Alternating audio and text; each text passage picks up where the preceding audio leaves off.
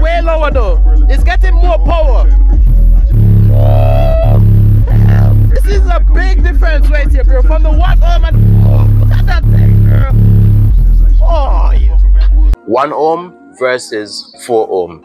Which one is more better? When it comes to selecting your ohm load, it all depends on what your amplifier can handle. So I want to know which ohm load y'all prefer to wire your subwoofers at and I will be letting y'all know what ohm load I prefer to wire my subwoofers at at the ending of this video. So let's jump right into the video.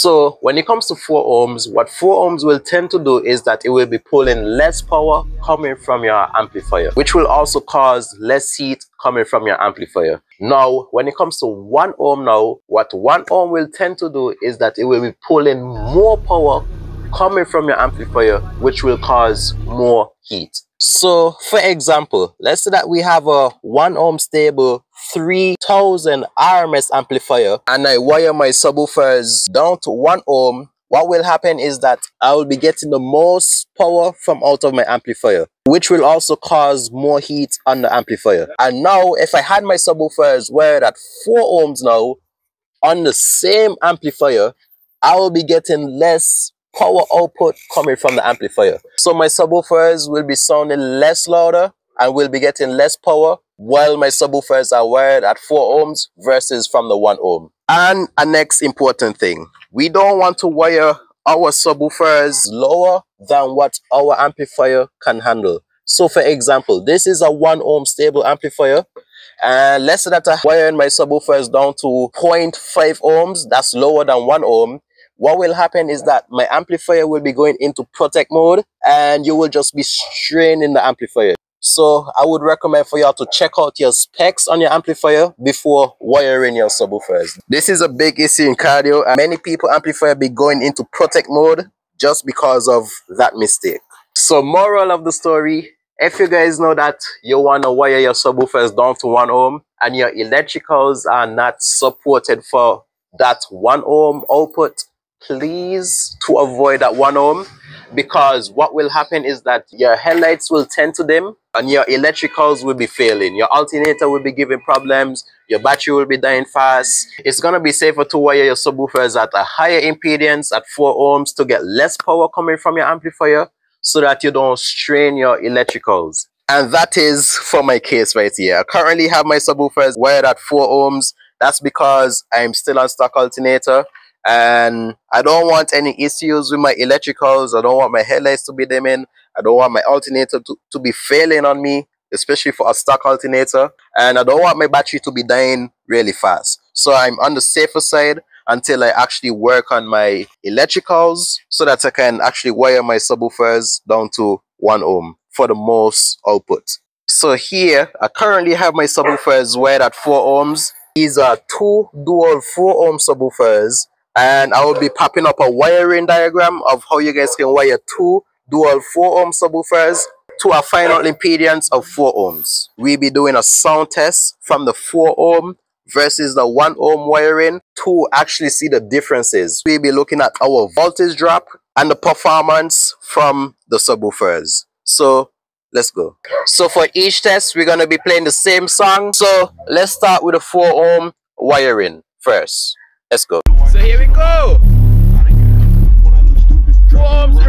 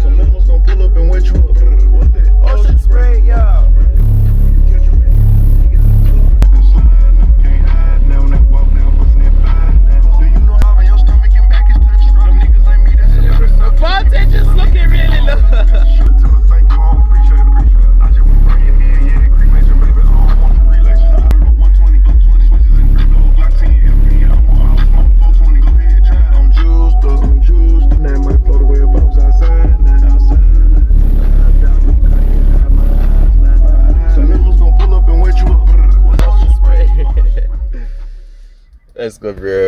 So that was with my subwoofers being wired at 4 ohms. It was really really nice for what it is. I'll say guys, this is the safer side for me with having my two dual 4 ohm subwoofers being wired at 4 ohms. My headlights won't be dimming, my battery won't be dying, my electricals will be safe, my everything will be more safer with my subwoofers being wired at 4 ohms with using a stock alternator. So let's move on to the 1 ohm wiring and let's see the differences from the voltage drop and the loudness from the subwoofers so let's go So here we go, guys. We're onto the one ohm wiring now. Let's see the difference. Here we go.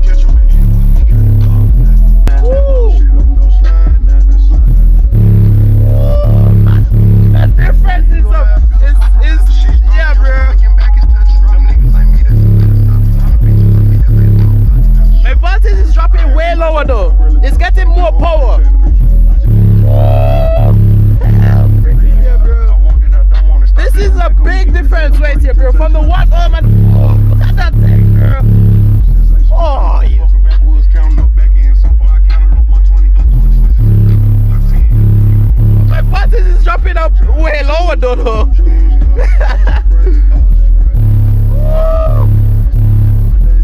the difference is crazy, bro.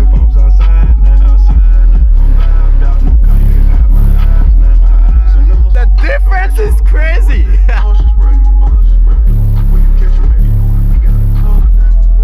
My is dropping way lower though.